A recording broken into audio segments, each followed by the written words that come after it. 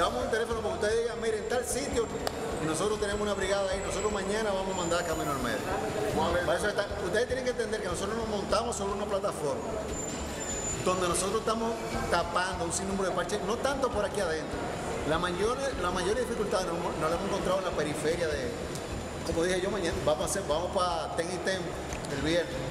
Y ahí hay un sitio, hay un vertedero que, oye, nosotros vamos a durar como tres días sacando basura de él.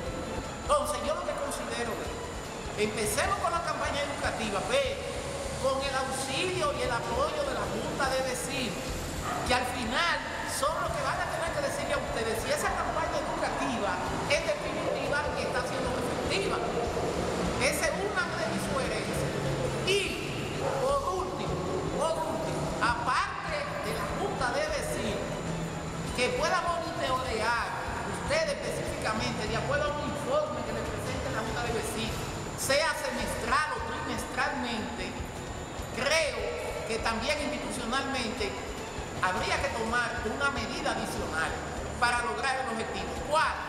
Si no se logra con el apoyo de la Junta de Vecinos, sea a través, no sé si la ley eh, 776, la ley del ayuntamiento municipal, así lo puede prever, que la sala capitular pueda darle facultad a ustedes o al síndico, a la empresa, de que se le ponga una multa aquel que no haga lo que establece el objetivo en eso. El ayuntamiento tiene un compromiso con el pueblo de estar supervisando a la compañía.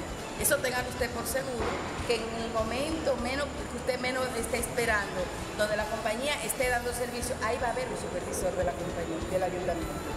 El ayuntamiento se va a hacer acompañar de un supervisor y un capataz en cada zona donde se está recogiendo la basura. El ayuntamiento, mediante la ley 177-7, está facultado, tiene facultad para multar a los residentes de los sectores que no se sometan a las leyes municipales. Ese problema que yo, señor Cristian, lo he vivido, lo hemos sufrido en carne propia en este sector, la señora, la licenciada Lodia Pichardo tiene toda la razón. Nosotros siempre hemos sido invadidos de basura de otros sectores. Vienen guagua, vienen camiones y nos depositan las basuras. Como Cristian decía, aquí estamos cediendo lugares donde nunca se ha recogido la basura. Nosotros estamos en Castillo adentro, en un vehículo todoterreno, y nosotros nos quedamos, porque nosotros llegamos hasta el final y pasamos por el San Diego, por ahí nunca se ha pasado a recoger la basura, por ahí se quema la basura. Pero el alcalde no quiere que se queme la basura, porque la política nueva que traemos es el cuidado del impacto ambiental. Algo que no, sería, no se ve como de tanta importancia para nosotros, pero se siente. Gracias a la empresa Móvil Soluciones Ambientales por eh, educarnos, por orientarnos. Yo pienso que el trabajo todo pinta que se hará y nosotros como Junta de Vecinos, como grupo comunitario, vamos a seguir porque la idea de nosotros es educar a la gente.